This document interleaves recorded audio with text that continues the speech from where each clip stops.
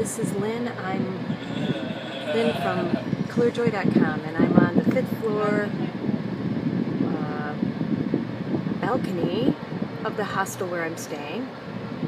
Part of the building is only five or four stories and part of it is nine. So there's this place where mostly people who want to smoke come up here and there's some bicycles up here uh, for storage and then there's me. I hope you can see the background.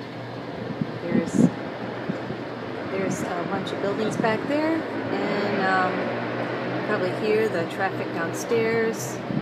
But um, I had an amazing day today. I went to the Textile Museum, and it was really emotional for me. There's a lot of embroidery which really touches me. There are a lot of really kind, nice people all the way around. And I really, really enjoyed it. It's really hard for me to explain why it's so important for me to be in a big city, especially in Toronto of all the places. This is the first city I ever went to, and uh,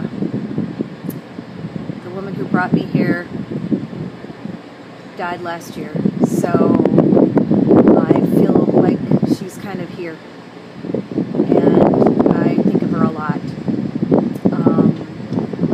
big buildings around me, and some are way taller and some are way shorter, and uh,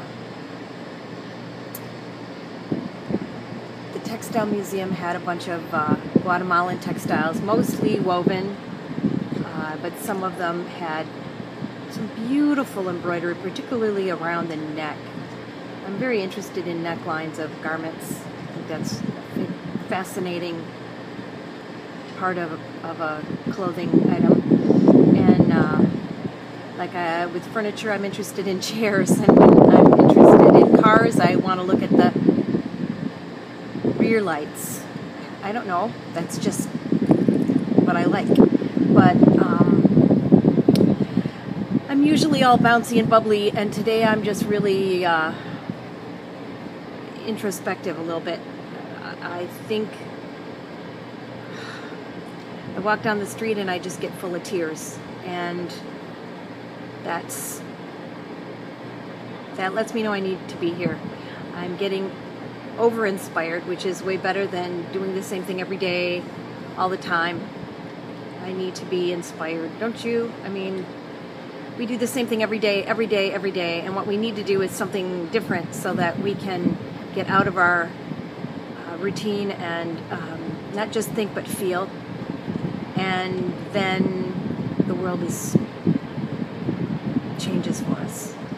And in my case, in my life, um, it seems like all the changes I've gone through sometimes are hard at first, but have all brought me closer to who I am. So, a quiet, thoughtful, uh, rambling hello from the uh, fifth floor balcony of the hostel on Church Street. And I hope you have a wonderful day. Thanks.